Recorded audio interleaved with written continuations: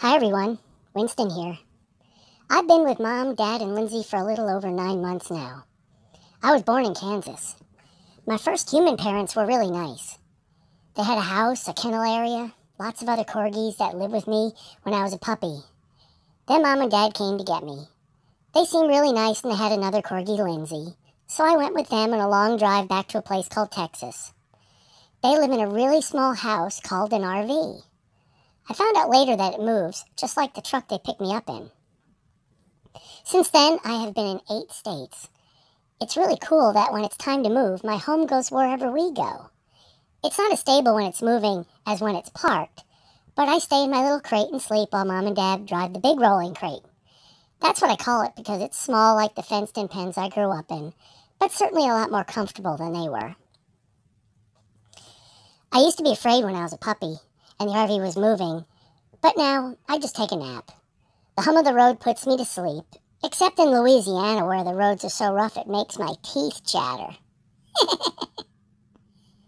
I found out that there are other people who do the same thing that mom and dad do. They are called full-time RVers who enjoy living the full-time RV lifestyle. Lots of people who embrace this way of life have pets.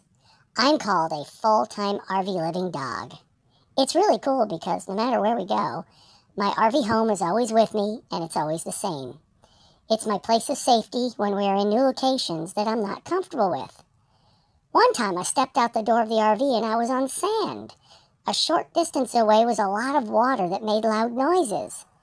Mom called them waves. I was scared at first, but when it came time to nap, the sound lulled me to sleep. I really like the RV lifestyle. I have the chance to leave P-mail all over the country, depending on where mom and dad travel to. I also get to meet a lot of other full-time RV living pets. Right now we're in Texas, but I hear we'll be on the move again soon. Maybe back to the beach. At least I hope so. I'm ready to go see some new places and check out some new smells. Well, that's it for this video. Thanks for stopping by. Don't forget to subscribe to our YouTube channel if you haven't already so you can keep up with the travels of Mom, Dad Lindsey, and this full-time RV living Pembroke Welsh Corgi with a tail. Also, feel free to, to ask me a question about being a full-time RV living dog in the comment area below. Thank you. This is Winston, signing off.